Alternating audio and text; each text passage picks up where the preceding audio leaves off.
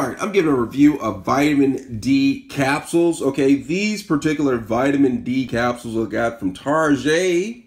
Okay, they come with 2,000 IU per serving. Okay, now they claim that vitamin D helps with bone health. But as you all have been reading lately or been hearing lately on the news, is that vitamin D, the lack of vitamin D, is associated with many different diseases. Okay, so vitamin D is crucial. Okay, one of the main sources you get vitamin D from is sunlight exposure. Okay, now with all the hysteria going along with skin cancer and all this other stuff, people are avoiding the sun like the plague.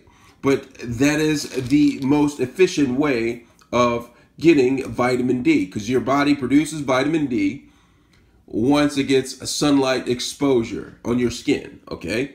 Now, if you're not getting sunlight exposure, you're not producing vitamin D. And so some doctors may recommend that you get a vitamin D supplement. Now, this vitamin D supplement that I take right here is really good. You know, sometimes you get vitamin D supplements with, and they have these huge capsules that you can barely swallow. And which are, you know, you get your vitamin D, but if you can't consume it, what good is it? And if you look in here, this particular vitamin D right here, the capsules are actually really small. Look at how small they are, okay? So I've been taking these right here, and my blood serum of vitamin D has been going up. So, I mean, if your doctor is recommending that you take vitamin D, bring something like this to his attention right here to see if he recommends this. I like it. You know, I got these from Target, and they work.